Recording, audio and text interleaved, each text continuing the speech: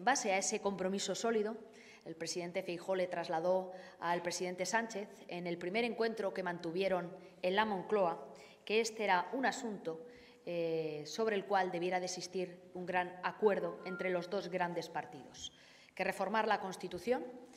eh, podía llevarse a cabo, pero que siempre debía de llevarse a cabo en base al consenso de los dos grandes eh, partidos y que estábamos dispuestos y que le ofrecíamos abordar la eliminación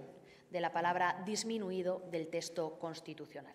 Un compromiso que se produjo, un ofrecimiento que se produjo en el mes de abril del año pasado y que, sin embargo, hasta el día de hoy no ha llegado este encuentro para poder abordar algo que, sin duda alguna, las personas con discapacidad en nuestro país merecen. Además, en el mes de julio también del año pasado fue el propio presidente del partido, Alberto Núñez Feijó, quien al CERMI le trasladó el compromiso de abordar la reforma con ellos, es decir, contando con las personas con discapacidad para que lo podamos hacer de manera conjunta.